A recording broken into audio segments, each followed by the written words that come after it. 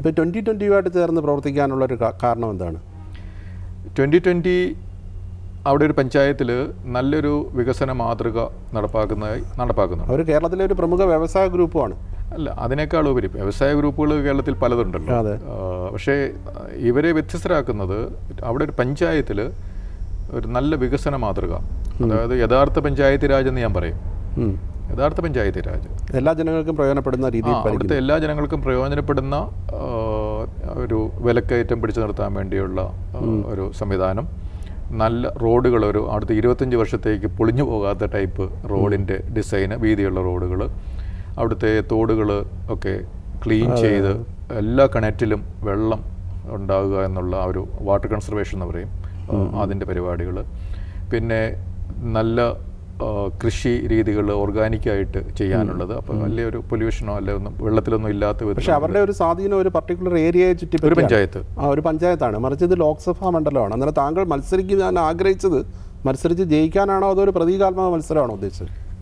ഇപ്പോൾ കഴിഞ്ഞ കാലഘട്ടങ്ങളിൽ ഓരോ മെമ്പേഴ്സ് ഓഫ് പാർലമെന്റിന് അവർക്ക് ഒരു വില്ലേജ് അഡോപ്റ്റ് ചെയ്യുക അല്ലെങ്കിൽ ഒരു പഞ്ചായത്ത് അഡോപ്റ്റ് ചെയ്ത് അവിടെ വികസനം നടപ്പാക്കുക എന്നുള്ള ചില സ്കീംസ് ഉണ്ട്.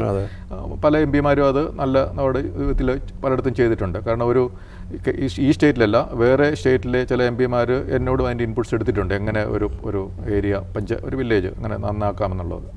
അപ്പോൾ അതെനിക്കറിയാവുന്നത് അപ്പം ഒരു പഞ്ചായത്തിൽ ഇന്റൻസീവായിട്ട് ഡീപ്പായിട്ട് ഒരു ഡെവലപ്മെന്റ് മോഡൽ നമ്മൾ ഉണ്ടാക്കിയാൽ ഉണ്ടായി കഴിഞ്ഞാൽ പിന്നെ അടുത്ത സ്ഥലത്തേക്ക് റിപ്ലിക്കേറ്റ് ചെയ്യാൻ ഭയങ്കര എളുപ്പമാണ്. ജയിച്ച് അങ്ങനെ ചെയ്യാമെന്നുള്ള പ്രതീക്ഷ ആഗ്രഹമായിരുന്നു എന്റെ എന്റെ ആഗ്രഹം അതായിരുന്നു കാരണം ഈ ഒരു പഞ്ചായത്തിൽ ഓൾറെഡി ഒരു ഒരു നാല് വർഷമായിട്ട് ഒരു മോഡൽ നാലഞ്ച് വർഷമായിട്ട് ഒരു മോഡൽ ഡെവലപ്പ് ചെയ്ത് അത് നല്ലതാണ് എന്ന് ആരും പറയും. അപ്പോൾ അത് പിന്നെ അത് റിപ്ലിക്കേറ്റ് ചെയ്യാൻ എളുപ്പമാണ്. ഈ ട്വന്റി ട്വന്റി ആയിട്ടുള്ള പരിചയം സർവീസിൽ ഇരിക്കുക ഉണ്ടായതാണോ? പരിചയം എന്ന് പറയുന്നത് ഈ ട്വന്റി ഈ ഒരു ഡെവലപ്മെന്റ് മാതൃക നമ്മൾ പത്രത്തിൽ കൂടെയും അല്ലാതെ നേതൃത്വം നൽകുന്നവരുമായിട്ടാണ് എന്നാണ് ഞാൻ ഉദ്ദേശിച്ചത്. നേതൃത്വം നൽകുന്നവരുമായിട്ട് നേരത്തെ പരിചയമുണ്ടായിരുന്നു. നേരത്തെ പരിചയമുണ്ട്. അവർ വളരെ സംസ്ഥാനം ഭരിക്കുന്ന ഞാനൊരു പുസ്തകം എഴുതുന്നതിന്റെ ഭാഗമായിട്ട് ഈ കേരളത്തിലുള്ള പലരെയും ഞാൻ ഇന്റർവ്യൂ ചെയ്യുന്ന ഒരു കാലഘട്ടമാണ് ഒരു സമയമുണ്ടായിരുന്നു. ഞാൻ സസ്പെൻഷൻ കഴിഞ്ഞിട്ട് ചെയ്യുന്ന ഒരു ഒരു കാര്യമായിരുന്നു പലരും ഞാൻ ഇരുന്ന് നാല് മണിക്കൂർ അഞ്ച് മണിക്കൂർ ആറ് മണിക്കൂർ അവരെ പറ്റി പഠിച്ച് ഇന്റർവ്യൂ ചെയ്യുമായിരുന്നു. അപ്പോൾ ഇവരെ ഞാൻ ഇന്റർവ്യൂ ചെയ്തിരുന്നു. അങ്ങനെ അടുപ്പം അടുപ്പമാണ്. ആ ആ ഇവരെ മാത്രമല്ല വേറെ പലരെയും ഞാൻ ഇന്റർവ്യൂ ചെയ്തിട്ടുണ്ട്. അതൊരു പുസ്തകം എഴുതുന്നതിന്റെ ആ, പുസ്തകം പുറത്ത് വന്നിട്ടില്ല. അതിന്റെ ഭാഗമായിട്ട് ഞാൻ ചെയ്തതാണ്.